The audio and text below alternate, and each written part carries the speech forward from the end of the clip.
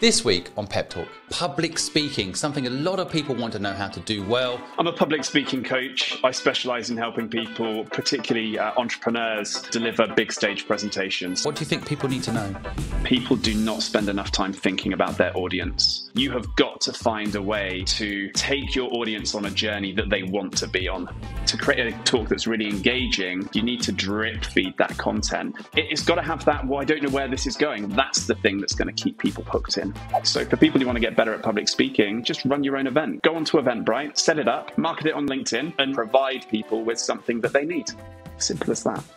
Our mission is to help 10 million people start and grow a business for free. We want nothing from you. In Pep Talk, we interview industry leading experts from around the world who share actionable know how and life lessons. That's why we're excited to partner with GoDaddy to power up Pep Talk. I've been using GoDaddy for years and would promote them on this podcast even if they didn't sponsor us. You can use their free website builder and start your online business at no cost, and even get help these days with naming your business. For 40% off GoDaddy tools, click the link in the podcast notes below and use the code GDXPepTalk.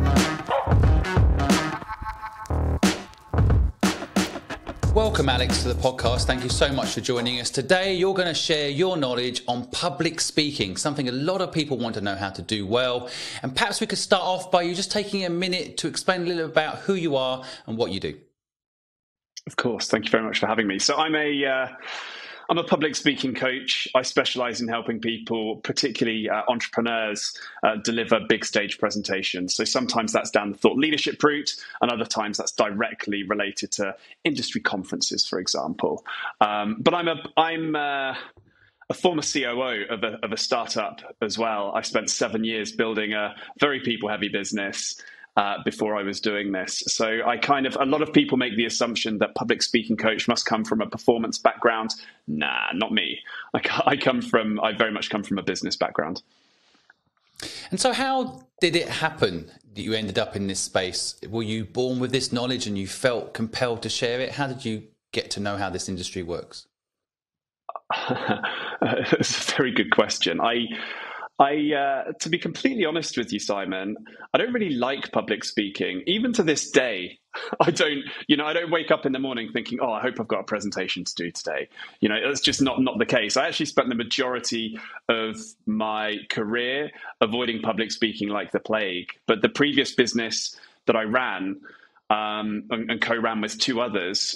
Public speaking, we decided, I didn't decide that, they did, was going to be at the heart of our growth strategy. It was before social media was being used to promote businesses. And we, we ended up spending three months of on the road every single year uh, on our recruitment drive to, to build our, our, our workforce and um, that involved us delivering speeches on, on, campus at universities every day. And if there's one thing I've learned about students, is they'll absolutely tell you what they really think. You get people heckling you, you get people walking out if they don't like what you're saying. Uh, so it was an amazing training ground. I did seven of those three months tours, and that was really where I learned. And it was it was there that someone saw me uh, give a presentation, and they asked me to speak at a TEDx event. And uh, that was really where my journey started. I ended up running uh, one of TED's local events in Southwest London, TEDx Clapham, and just started helping the speakers there. So it happened very organically. And when we eventually drove our previous business through uh, the hedge backwards, trying to keep it alive with a business model that absolutely wasn't robust enough to, to survive and scale, um, people had already started to recommend me to other people. I think they thought I did it as a job anyway. And so my journey into becoming a public speaking coach was a fairly organic one, I think. So how does it work? Just before we get into, I guess, the nuts and bolts and, and the tips and tricks in public speaking, I'm, I'm always interested in in our guests, not how they how they ended up where they are. So just just try and analyze for a second. So you were COO of, I think it was Champions Life Academy. That's right. And and so how did that how did that turn into? I mean, you mentioned there going on the road and, and, and, and I guess being a part of the strategy of the previous company, but a lot of people listening might wonder what's it like to go from, I say, running a big company to, to running what you have now. And I don't know the size of what you have now, but I, I, is it is this a, a, something you just a passion project that you now do, and you don't want to work for a massive company, or you have ambitions to grow this into a massive business again? What's what's the, what's the strategy? How did it happen? It's a it's a really really good question. Um, I think the the first thing to say is the transition from running a business that was very people heavy. You know, we'd have 250 people at different points of the year working for us, and I was responsible for them all. That was that was my job. To then just running a one person band, I found the uh, I found it incredibly lonely. Um, it was it wasn't easy. I'm not I'm not going to lie. It was uh, it was a real culture shock. You know, suddenly you wake up in the morning, you don't have to go anywhere, you don't have to see anybody all day. You can just basically be in your room. This transition into uh, what we've just been through with COVID was I was already doing it. you know, so there was no transition that was really necessary for me. What was nice was that my my girlfriend at the time, now wife, uh, she was just able to be at home with me, so it was just slightly less lonely. I think so. Loneliness was the big thing that I kind of um, that, that, I experienced. In terms of where this business is going, it's going to be much more people lean. I don't think it needs to have lots of people. And with the technology that's available to to us all now, and the technology that has um, just been adopted through the circumstances that we found ourselves in, I don't, I don't need to turn this into a massive people heavy business. It's not always about this big scale. Um, an excitement that you you can often see associated with the startup world. Um, I have doubled my uh, the size of my company though, uh, because my now my wife now works with me, so we are twice the size that we were this time. Fifty percent growth in a year. That's impressive. yes. no, but I think this is a really interesting subject in its own. I mean, this isn't talked about enough in business. I, I have exactly the same feeling. I, I, I, had a company where within our network we had nearly a thousand people working for me and the company, and and it sounds glamorous and sounds amazing and wow, you know. But in reality, it was it, I didn't enjoy it. It was you know I've got a team now of seven, and I really enjoy that. And and so yeah. you know it's that's the team we need to put a podcast together. But this isn't talked about enough actually. And so I, I think you've gone from two extremes though. And and do you think there's some happy medium? I'm not trying to put words in your mouth, but I just wondered what you know. Do you because I think being lonely is all. Can you can also be lonely running a thousand people company? I, I felt lonely running yes. that company at points. Like I was the only one that you know somehow felt I was the only one that you know responsible for the cash flow responsible for making sure we make, make, payroll. You know, I can't go home and complain to my wife because, hey, you know, she doesn't want to hear that stress. I can't complain to my team, of course. Can't complain to your customers. So, you know, you yeah. can feel lonely no matter the size. But but there is this image that somehow having a big company is the answer, but it but it's not. So I guess I'm hoping you're going to say, I really love the size of my company now, and, and maybe that inspires people to, to think about purposes instead of size. Uh, it's, it's absolutely about purpose. Um, I, I, wouldn't have made it through to this point if that wasn't a key part of it. Um, uh, I think uh, it, will the business grow? Yes, but hopefully more from a, an impact perspective and a, a, reach perspective from my side than uh, than from the people side. I also think there can be, you know a lot of guilt associated when particularly when you're working with other entrepreneurs who've been very very successful and grown these these big companies that we hear about in wired and techcrunch and and so forth. And you start to think well is my business worthy? Is it, is it the same as them. Um, and it takes, I, I, think it, it takes a bit of time and, and actually a bit of work working with other people too.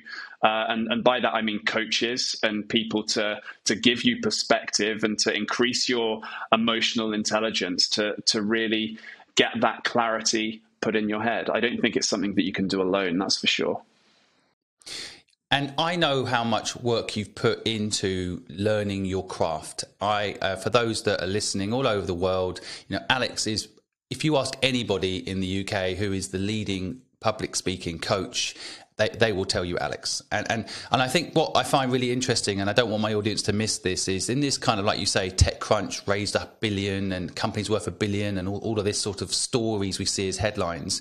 I think what matters is something what Alex is doing here. You know, you, you can help one person deliver an impactful speech that could help 52 million people that listen to it have a better life right? So it doesn't necessarily have to be about the size of your company, but like you say, the reach that you have is way beyond just the the, the size of the of your business, right? And that's why I do what I do. I said at the beginning of this, you know, I don't actually love public speaking. I don't think I want to get up on stage every single day and and just be in front of audiences. That's for me, it's all about the impact. Uh, it can have a disproportionate amount of value to the time that you spend having to deliver the talk itself. And it's a force multiplier for all of the other skills that you've got that you can bring to the table. So it's a way of scaling a message. That's that's where I've I've seen it work really nicely. One 15, 20 minute talk recorded, put on the internet, put in the right place can be something that um, shouts your sends your message across to people. So you can get on and do the other stuff that you've got to do because you've got more to be doing right? The olden days a lot of entrepreneurs would get themselves on the speaker circuit and i think actually speakers are working a bit um, bit smarter with their time now. They're being a little bit pickier about the stages that they might want to speak on, and they're thinking, well, what's the, what's actually the outcome that I want to achieve from this particular thing here? And I've got quite an interesting stat on that. We often think as social media, we need millions and millions of views, and some of my talks have gone on to do that. But 32,090 is a really good baseline number.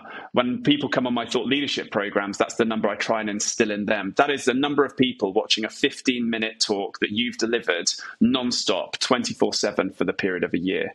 So you don't need these absolutely astronomical, I need to go viral figures for you to have a message that can have an impact and have a success. In fact, I think one of the one of the most uh, impactful talks that has ever come through has been one that still to this day probably only had about a thousand views um, because they put that talk just in front of the people that need to see it. It's not been about the big numbers for them. So working smart is uh, is really important for entrepreneurs when they're thinking about their public speaking strategy.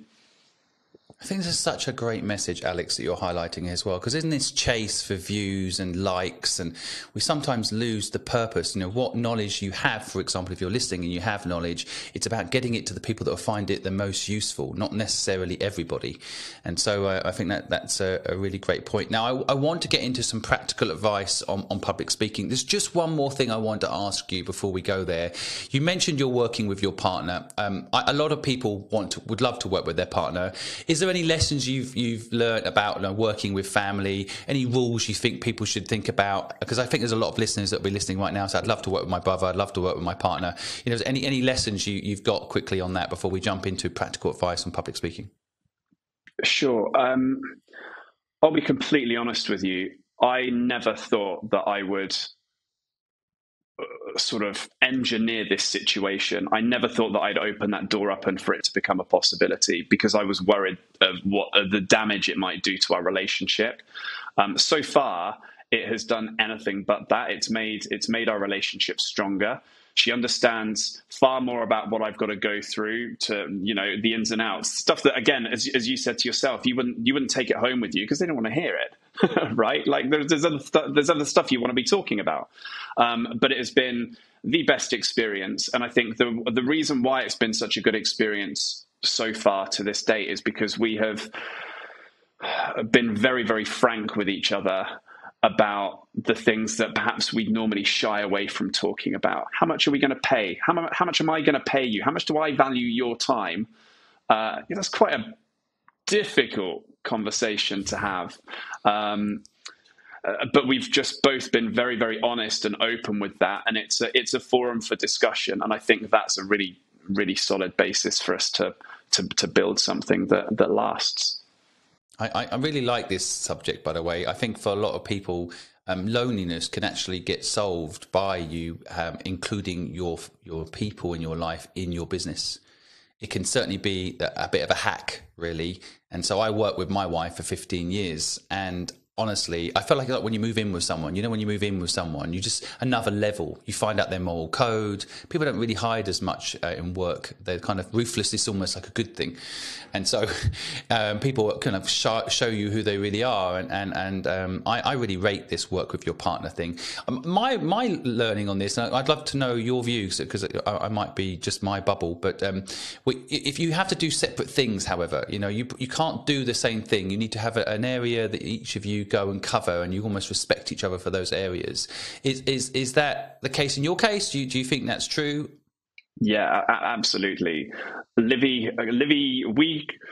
Livy coming in last year doubled the amount of revenue that was coming in. And it was because I wasn't spending my time doing the things that were stopping me from doing the things that I was really good at right? We, we've got a very much a, a complementary skill set from from that respect, and it's just unleashed that my ability to be more creative, to and and I've got more energy to be able to to do what I you know the coaching which is the which is the most important bit. That's not to say I don't have to run other elements of the business. I do but we do have very clearly defined uh, boundaries on on that and complementary skill sets which is which is why it works. Going and doing the same thing uh, regardless of whether you're a wife uh, you're you're in your partners or not uh, particularly thinking back to my champions days is often a recipe for disaster because things just things just fall by the wayside and there's a blame culture that comes in. I just want to take a moment to thank Tailor Brands for sponsoring this podcast.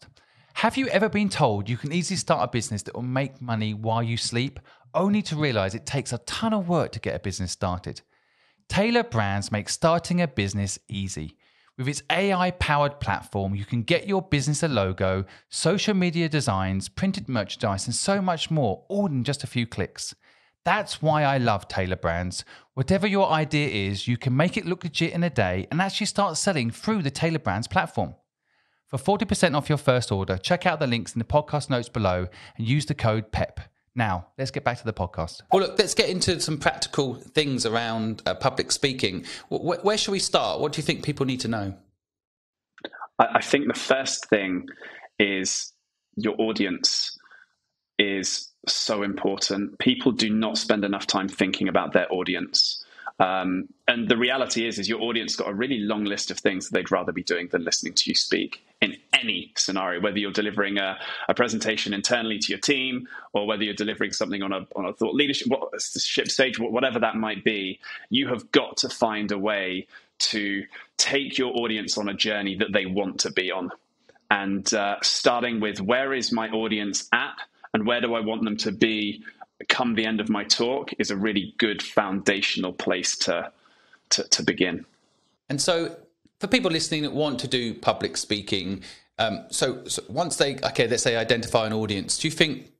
And I know you've been involved in in the TED movement, but do you think there's a way? How can people get their feet wet? I guess is what I'm asking. What what other perhaps the the ideas to get get yourself out there in this space? The surefire easiest way to guarantee you can you have got an audience to speak in front of is to create one yourself. My business started from doing just that. Um, I uh, we shut down champions, and uh, I was like, well, I think the public speaking thing is something that I'm going to do. How do I how do I start that? I have no idea. But you know what I will do is I'm just gonna uh, I'm going to run an event at Google Campus. I've, I've got nothing to sell, no products, nothing. But I'm just going to run an event, and I'm going to call it how to how to get uh, or how to land a TED talk or TED, TEDx talk, I think is what I called it. Which incidentally, uh, I got absolutely for by TED. they did not like me running that event. Um, but that's I, a technical I, term I for my put... my uh, my overseas listeners, meaning he got into a lot of trouble. You know, that's a technical term. We might have to bleep sorry. it out. And um, essentially, I just uh, so I ran this event at Google Campus. 160 people uh, signed up to it. It was completely free to attend. As I said, nothing to sell them. Um, about 80 people turned up, so pretty good conversion, I'd say, generally speaking. And um, and then two weeks later, I was like, well, maybe there's something I can do with this. And uh, so I just messaged those people who'd actually attended and said, look, I'm thinking about putting this program together. Um, it's, it's a complete trial, but I think I can help you. And that was the formation. That was my MVP product. And the reality of me running that MVP product was I had I sold the product before I'd created it. And then the morning that I was due to deliver my workshop, I'd write the workshop. So it was very last minute, a lot of this stuff. But I learned so much from that experience and it gave me my first few case studies. I wasn't charging the earth for it and uh, it gave me my first group of people and that was how things that was how things started through. So for people who want to get better at public speaking um, the first thing you can do is just run your own event. Go onto eventbrite set it up market it on, on linkedin um, and and make sure that the event that you're selling is going to provide people with something that they need. Simple as that. I think you've just described pretty much the um, how to get a business up and running uh, process uh, in a nutshell as well. There, you know, like an MVP. You know, um, almost the pressure of doing the event makes you write the content. and then right. and then the event itself, you learn from your audience and, and you grow from there. That that I think that's also the kind of definition of starting a business in many ways. And I think actually good public speakers think of their the talk that they're going to deliver, whether it's a one-off talk or whether it's something that they're going to find themselves delivering regularly, like a pitch to investors or whatever it might be. The talk itself is a product. Let's not forget that right? Um, your audience has to get value from uh, from it. Every good presentation gives value. A product gives value to the to the people who are receiving it. It's exactly the same. And if you can think about your what the, the message that you're crafting like that, it will really help. And and a tip that I would give people on the message is there's a huge uh, you know if you ever get any training from people they'll often say the best way to communicate is to tell people what you're going to tell them tell them and then tell them what you've just told them. And i totally disagree with that. The second you have told people what you're going to tell them the audience will then work out what they think you're going to say and they will half switch off I think to create a talk that's really engaging, one of the best things you can do is you need to drip feed that content, just like a very good film will or a good book that you're highly engaged in, you can't put down. It's got to have that, well, I don't know where this is going. What's going to happen next? That unpredictable factor. And that's the thing that's going to keep people hooked in. That's fascinating. Um, I couldn't write down fast enough. I think I'm having a free training session right now, and I, I, think that's really good. And I noticed it on social media. You know, things like TikTok. TikToks do really well if you have that hook at the beginning, but you don't actually tell yes. people necessarily what you're about to do. Then you tell a story, and at the end, people get you know, the value, the deep value. And so, um, I, so I guess you know uh, the, the systems like TikTok work based a little bit on on the type of thing you're talking about there, right? And I think the thing that you do really well on TikTok is that it's it's a, it seems like such a small thing, but people totally underestimate it. It's the title. Um, when people come to, came to me pitching me, te- you know, I want to speak at your TEDx event.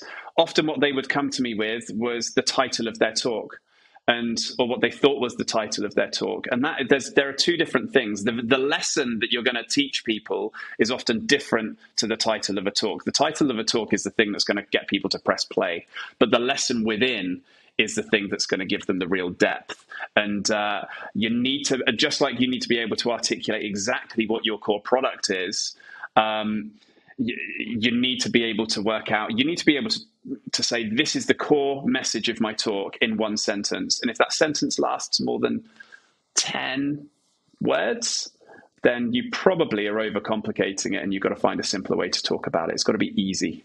So, everybody listening right now, go to the comments, put your one sentence explanation for your next TED talk, and uh, we'll give you some feedback on it. Well, Alex will because he's the expert. So, yeah, I'll go ahead and do that right now. Yeah, John. I think the um, one of the things I'd like to, know, as we as we conclude today's podcast, um, I wondered if you felt there was any particular way that people could practically open or, or end um, a, a, good speech. Do you think there's any like best practices in, in that space? Yes, yes, yes, yes, yes. Two most important parts of the talk. You've got to get people's attention, and you've uh, at the beginning, in the first thirty seconds, you have to get their attention, and you've got to do it in a way that makes them want to listen to what it is that you've got to say. If you're too provocative, you can shut people up, and they their defenses can go up. Um, and if you're too slow, hi everybody, my name's Alex. Today I'm going to talk to you about public speaking. Boring. That's what everybody else does. You've got to you've got to just. Th- push people straight into the deep end um, and and immerse them in in your subject in your world. So that first thirty seconds is particularly important, and I think uh, a very simple way is to ask a question. Uh, specifically, don't ask a question like um, like all the all the in, inspirational coaches do. Have you ever felt down in your life, please put your hands up. I'm not talking about questions like that. I'm talking about ask a question that people aren't necessarily going to know the answer to, or one that is broad enough to potentially spark debate. You know, one of the questions I'll often ask uh, at the beginning of a, a, workshop that I do: uh, "What makes a great story?" And then, you know, people have got all sorts of different answers going through their head, but it's just something that's got to make your audience think a little bit. And that is the conversation that good public speakers have. There's not a verbal conversation going on between a public speaker and the audience. It's it's a it's an internal dialogue that's happening, and you have an opportunity to to help your audience go through that journey. When it comes to closing your talk, please, please don't finish your talk with, does anyone have any questions? Uh, no one has ever walked out of a meeting, out of a presentation, being like, you know what, that Q and A, that was amazing. That's not what it's about. There's nothing wrong with having a little Q and A in a presentation, but don't make it be the last thing. There's some good some good research by um, Daniel Kahneman, who wrote a book called Thinking Fast and Slow, which you may, I'm sure you've come across, Simon. And uh, he, he basically was looking at the science of memory versus experience. And regardless of someone's experience of something, if the experience of something, if the last 5% was, was good, they, that is how they remember the whole experience. So rather than finishing on Q&A, you need to finish on 30 seconds to a minute of inspiration, whether it's a, a, call to action, a story that you hold back, um, uh, a, a, painting a picture of your promised land. You know, what's the world going to look like when your ideas come to life?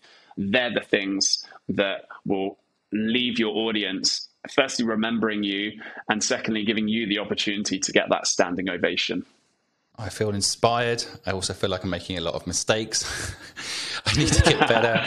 Um, Alex, why don't you close the podcast? Um, well, based on all that, I'm going to leave you. I'm going to pause for a second. We might have to edit out the pause. I don't know, but um, I, would like I'd like you to close the podcast. Don't edit today. out the pause. Let's just do it. Um, just before I do it, just before we close, you rock, Alex, and thank you so much for taking time out to share your knowledge with the audience. Really appreciate it. Over to you. Thanks, Simon. Well, I, I think uh, maybe a really good way to end this is on I think a lot of entrepreneurs question have I got something worth saying?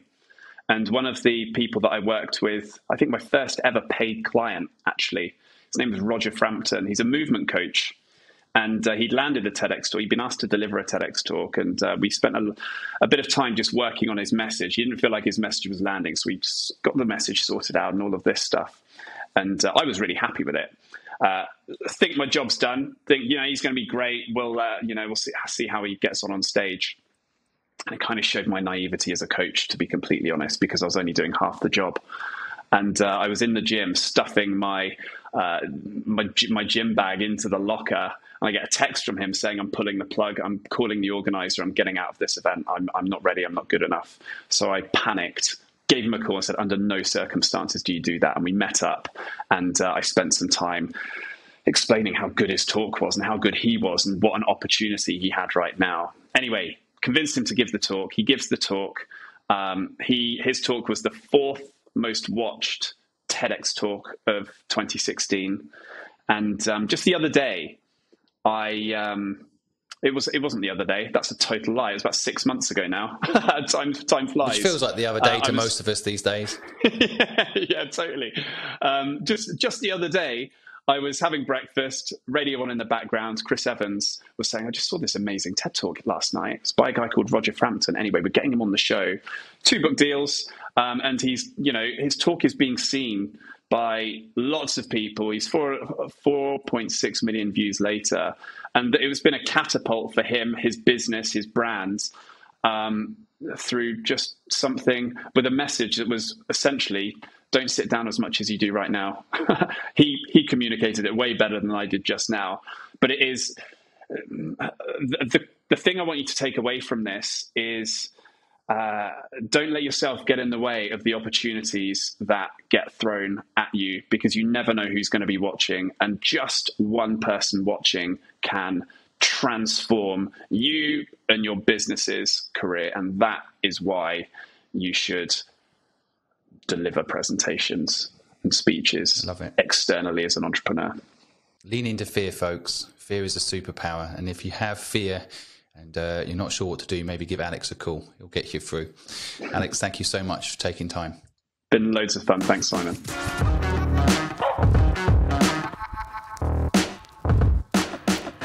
Thanks for listening to Pep Talk. We hope you enjoyed it. Don't forget to follow the Purposeful Project on all our social media channels, where we're giving away even more free business secrets and entrepreneurial value. Again, we'd like to thank our sponsor, GoDaddy, for powering this podcast. From naming a business to buying a domain name to building your website for free, GoDaddy has you covered. For 40% off GoDaddy tools, click the link in the podcast note below and use the code GDX Pep Talk. See you next time, entrepreneurs, and remember, you're not alone.